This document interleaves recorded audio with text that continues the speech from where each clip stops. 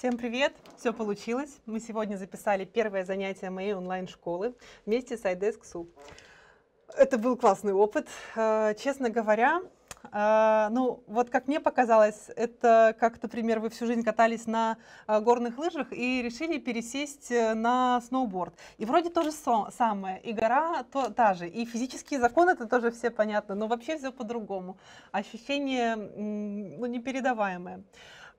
Все очень профессионально, сделано классно. Здесь отличный свет, здесь э, прекрасно получается картинка э, лица, здесь, э, ну вот визуально, да, все здорово. Здесь три варианта фона, мы выбирали.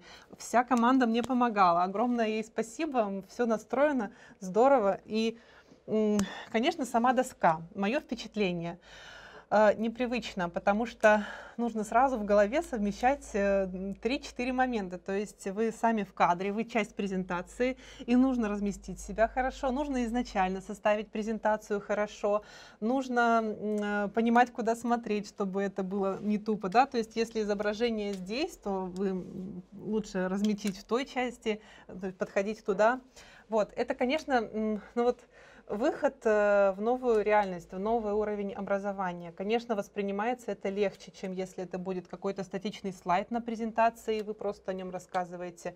Это намного лучше, если вы просто будете читать какую-то информацию ну, на кадр без какого-то сопровождения. То есть это из выход из 2D в 3D. Но вот у меня ровно такое ощущение сложилось. Вот. Но что хочу сказать.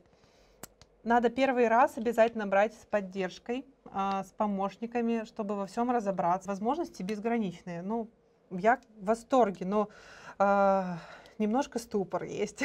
вот, поэтому обязательно первые занятия берите с поддержкой, э, с наставником и ментором. А вообще, конечно, за этим будущее. То есть, если вы что-то хотите сделать, так сказать, раз и навсегда, и просто потом использовать эти видеоматериалы, то нужно делать э, так, как это будет завтра, а не так, как это было вчера.